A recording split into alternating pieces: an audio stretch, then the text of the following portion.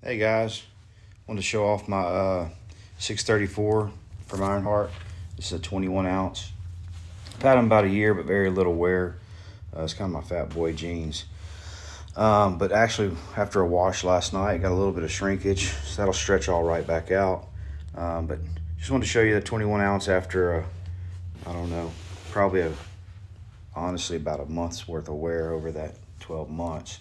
Uh, I typically wear a lot of fatigues and then trying out different denims. I don't get to put the wear in it like I used to. Um, but I got some good hand pocket fades.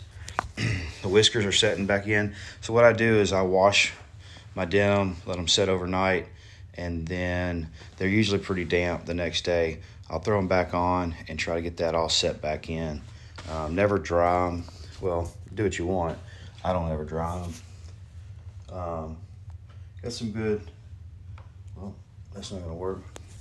Got some good pocket fades from the Good Art wallet.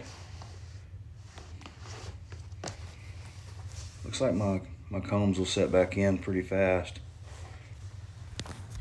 All in all, I'm really happy with uh, the way they washed out. And at this point now, for what I'm going for with a vintage look, maybe like a 1990s Levi's stone wash, I'm gonna probably try to wash these every week, uh, assuming I, I keep wearing them uh, regularly. Um, I've got them chain stitch hemmed uh, on our uh, in-house 43200G. Um, that's a, what they refer to as a bulldog roping effect. Um, we've got some really good uh, fades on the high points. You see some of the whiskers.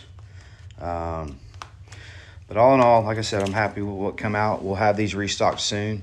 21 ounce, some of my favorite denim out there. Uh, super soft right out the gate, um, heavy.